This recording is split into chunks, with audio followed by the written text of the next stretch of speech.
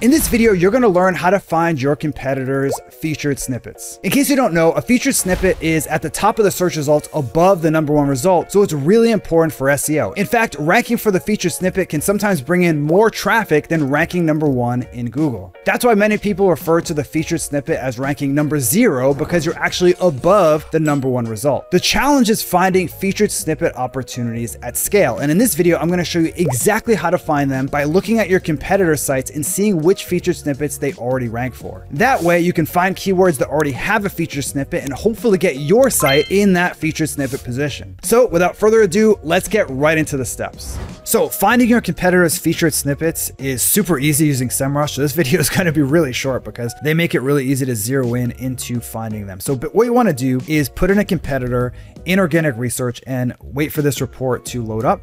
And then what you want to do is scroll to the bottom and linking to a domain, click on featured snippet. And what this will show you is all the keywords that your competitors are ranking for, where they rank in the featured snippet position specifically. So let's look at an example here. So what you want to do is once you find them is, now in this case, the domain, in this case Backlinko, is ranking for quite a few featured snippets, which is good because this shows you all the opportunities that you could potentially rank for as well. So what do you do with this information once you've found it? Well, there's a couple things you can do.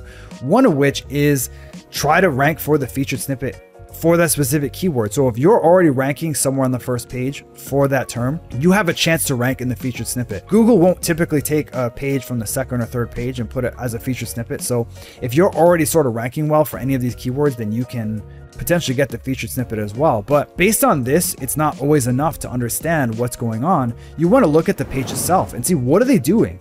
Like, why are they ranking for the featured snippet for these different terms? So in the case of dwell time, which is the one that I want to check out here, you can see that part of the reason is that the page is structured almost purposefully to get into the featured snippet. Like Google wants to know where in this page do they answer the question about dwell time that someone wants to know. Clearly, people are searching for dwell time. If there's a featured snippet there, they want to learn what it is.